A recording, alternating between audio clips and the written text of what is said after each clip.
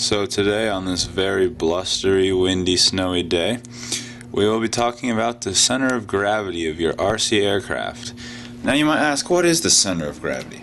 The point in or near a body at which the gravitational potential energy of the body is equal to that of a single particle of the same mass located at the point and though which the result of the gravitational force on the component particles of the body acts. So to basically make that simpler, center of gravity is a point on your wing.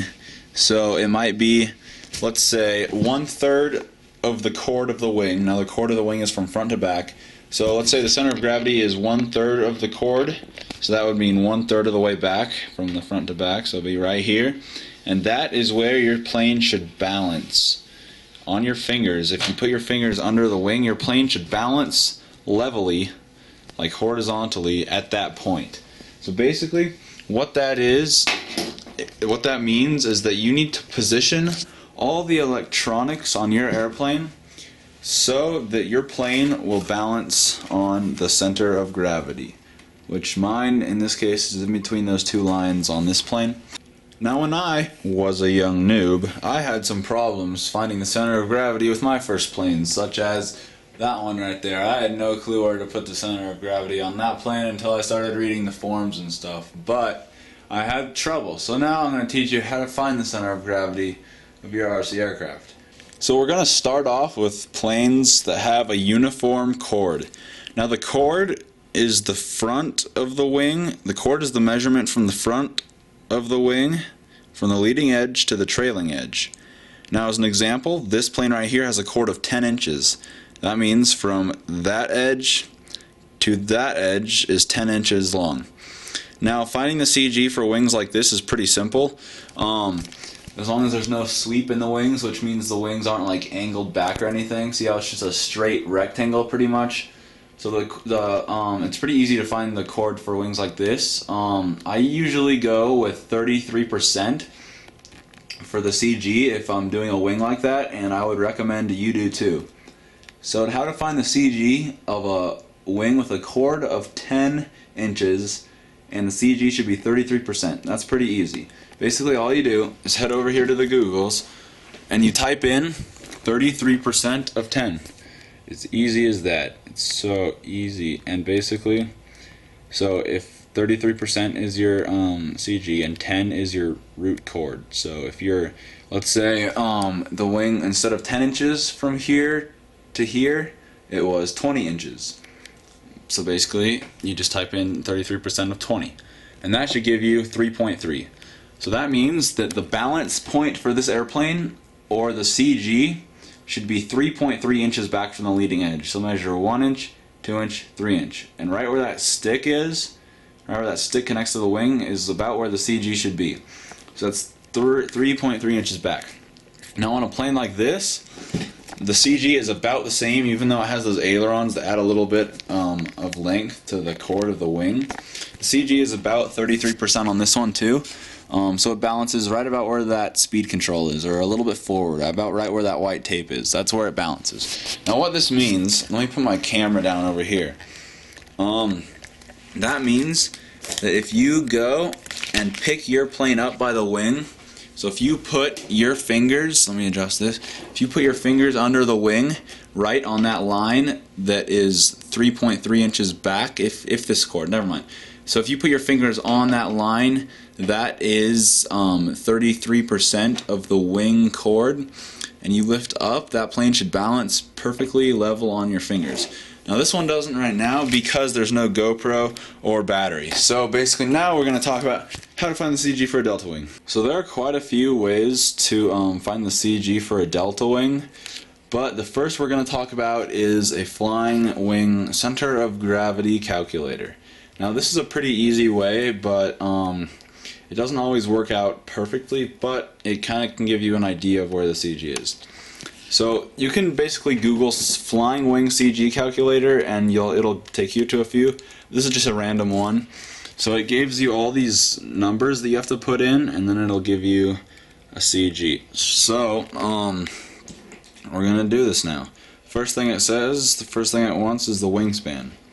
And in this case we're gonna do this for this little tiny delta one right here. The wingspan is 24 inches. So over here, where it says wingspan, we're going to put in 24 inches. Alright, 24. The root chord now. See, it shows you. Root chord is right there. So, looks like this is 13.5 inches. 1, 3.5. Tip chord. It'll show you. Tip chord is right there. Tip chord looks like it is 7 inches. Put that in. 7. Sweep. Sweep is from the front of the tip edge, or the front right there, to right there. So basically, we need to hold the ruler about right there so we can see that um that we can see that and then we take this and put it across the tip chords and it looks like that's 8.5 inches see how I did that um, 8.5 inches is that measurement. So that's the sweep as a distance so 8 8.8 like that as a distance so yeah that's the distance. Alright now you can see this. Update. So that's what this little wing looks like as you can see it's pretty similar. Um, so the wing area is 246 square inches uh, the MAC mean air Mach means mean aerodynamic chord and that is 3.75 inches but that means is a lot of stuff that I'm not actually sure what that means but the CG distance that's what you need right there. See that CG distance? Um, that's 6.5 6.05 inches. We'll just round that to 6 so then if you go over here and you flip over your delta wing you should go and measure 6.5 inches back from the nose. So as you can see 6.5 inches back on mine is about right there. So that's about I usually run my CG a little bit farther forward. I usually run it about right there instead of right there but it would fly right there. So that'll give you an idea where to put the CG and that is with a 20% of the wing remember on this one it was 33% yeah well on this one it's 20%. See now it gives you some options here. You can do 15% if you're a beginner. Um, that is pretty good. 20% for all around and then 25% for experts and you can do other but I don't recommend that. So basically you can choose one of those. Um, if you want to use this exact CG calculator here is the URL. I recommend um, if you want this, you can go back and pause the video later. Um, I know LipoPilot records these shows, so you can watch the recording and find that again and type that in. But if you don't want to do that, I'll just have it here for a second. I'll give you five seconds to type that in. One, two, and bookmark it. Three, four, five. All right, we're done. So I hope that helps you with finding the CG for your airplane. Um, basically, I never really use any of those methods I just told you for finding it because I've been building so many planes that I just guess on this where the CG should be. So for this plane, I just guessed that it should be around right there, and then you just maiden flight it and adjust it from there. But if you're a noob and you don't have no clue where any uh, your, where your CG should be, then those methods are great. So basically, we're going to talk about what happens if your CG is off. If your CG was too far forward, let's say it was up here or something, then your plane would always want to nosedive. It would fly like it had too much weight in the front, and it would always want to nosedive no matter how much up trim you gave it. Now if your CG is tail heavy, then that can have the plane fly fly alright sometimes, but your plane is going to pitch up a lot it's going to fly slower and it's going to tend to stall more. So that's um, those are some of the consequences of having a bad CG. Well, I hope that was um, helpful for you guys. Uh, excuse my not very good at explaining stuffness, but anyways, yeah, that's basically how you find the CG for common wing types like delta wings and normal wings. Thanks for watching and bye. Oh yeah, wait. one more thing.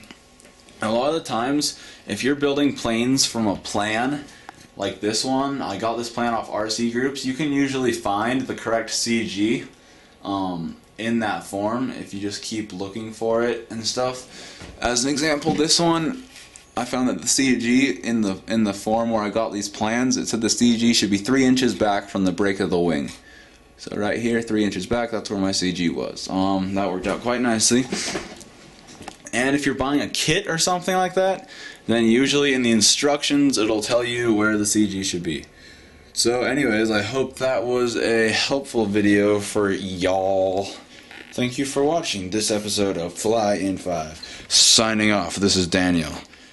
Um, with Fly in 5. Woo, adios.